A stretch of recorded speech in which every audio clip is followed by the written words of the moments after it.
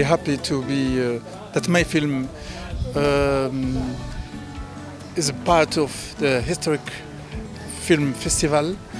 I discover this uh, beautiful city, Rijeka, and uh, for me it's uh, a nice and uh, uh, exceptional opportunity to meet um, many people and uh, to discover many films in the, this um, festival.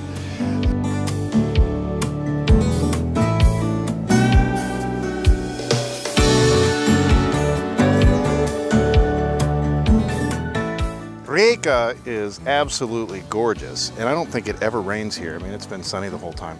And uh, it's very modern, the food is great, the people are awesome.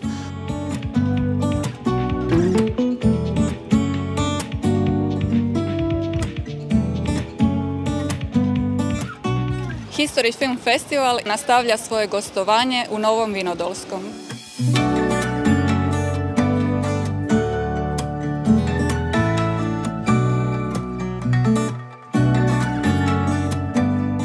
Mi smo sad u suradnji sa History Film Festivalom e, pokrenuli ove godine, dopeljali sam festival u Novi Vinodolski sa velikom radošću, da malo uživimo i ovaj prostor kuće braće Mažunić. Na ovo ljeto smo imali neke filmske projekcije, na mene izuzetno raduje da ćemo pogledati jedan drugi vid filmskih prikazivanja, znači dokumentarne filme koji imaju ono veliku srž, onu veliku istinu koju se ljudi često znaju bojati, a moramo ipak vidjeti. אבא נרצח ב-16 ביוני 1933, הוא כבן 34 וכבר באחד התפקידים הרמים ביותר בתנועה הציונית.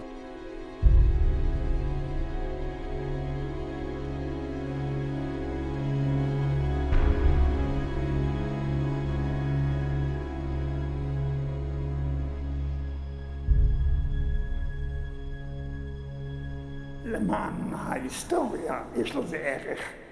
לעשרת עלות מעל החידה הזו.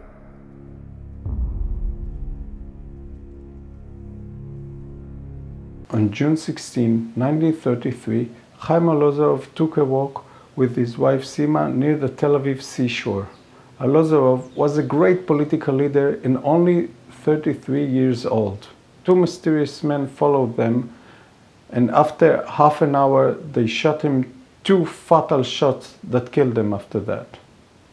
Until today, we don't really know what happened there in those critical moments, but now it's time to dust off the truth from history. הכרתי את החוקר יהודה ארז מהיכרות קרובה מאוד. והוא מפעם לפעם אפילו סיפר לי על מהלך החקירה ועל הממצאים שלו. באופן לא רשמי.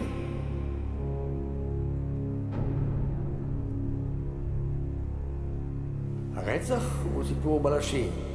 האשימו את הערבים, והאשימו את האנגלים, והאשימו את מפא"י, והאשימו את הגרמנים. הם האשימו את כולם חוץ מאשר את עצמם.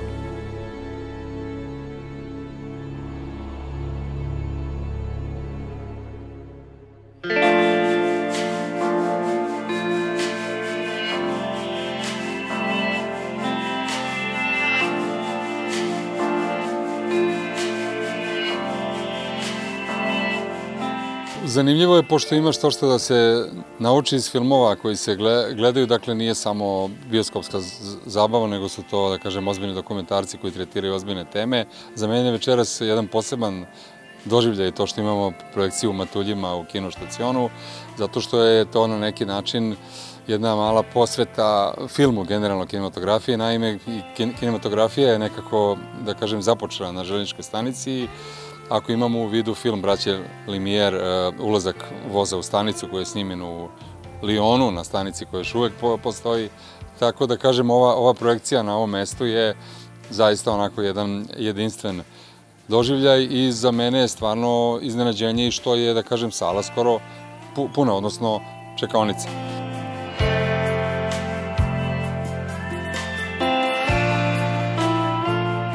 It's uh, it's quite an exotic place. I would never expect. I, I even found out that uh, uh, Goa, from from where I come from in India, uh, has a connection with Croatia.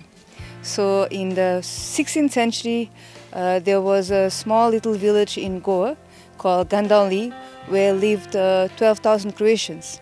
And there's a church there, a small church, which is the replica of what used to be in Dubrovnik, but which was destroyed later on because there was an earthquake in Croatia in the 1667, mm-hmm. I hope.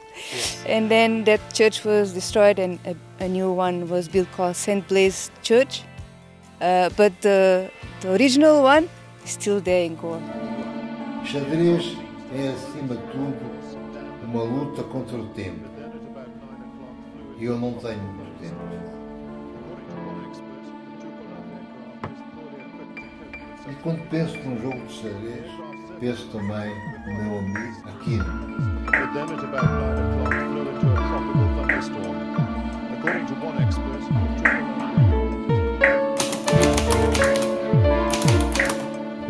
This documentary portrays the life of Akin de Bragança, an intellectual and Indian journalist whose aim in life was to fight colonialism, not only in Goa, his birthplace, but also in all the countries of Africa.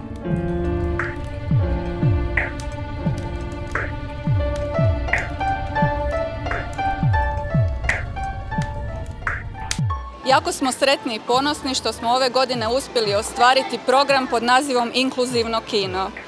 To je kino namijenjeno za sve, pa tako i za one s oštećenjima sluha i oštećenjima vida. Stara kuća, puno snijega, otvaraju se vrata. Sve je prenatrpano starim stvarima. Razgovor muškarca i žene se čuje iz daljine. Moramo sve preokrenuti da nađemo te papire. Što ako ih ne nađemo? Snimateljica uđe u drugu sobu, pojavi se muškarac. Zdravo, uđite. Ne vidimo je jer sve snima. Pita, jesam li vas prestrašila? Nema veze.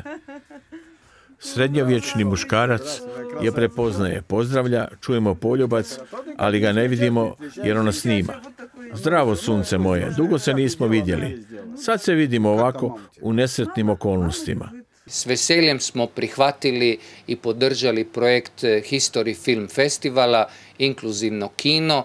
Po prvi put osvijestili smo problem da među nama postoje ljudi s problemom sluha i vida koji ne mogu uživati u filmskom izričaju, ali zahvaljujući Istra filmu i ovom projektu i tehničkim pomagalima koje nam stoje na raspolaganju, ljudi sa dakle oslabljenim vidom i sluhom bit će u mogućnosti skupa sa svima nama uživati i u filmskom izričaju.